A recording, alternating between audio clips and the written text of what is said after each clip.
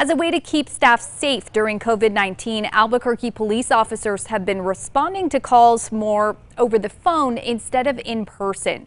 They say dispatch is assessing if a caller is sick or has had exposure to COVID-19 and passes that information on to officers. They're also asking if the caller is okay with talking to an officer over the phone to limit contact. Deputy Chief Harold Medina says officers find the new protocol beneficial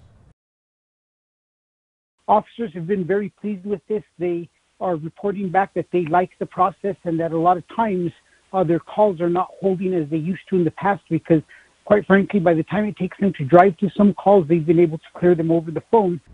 APD says officers are now responding more quickly to higher priority calls like a fight in progress, for example.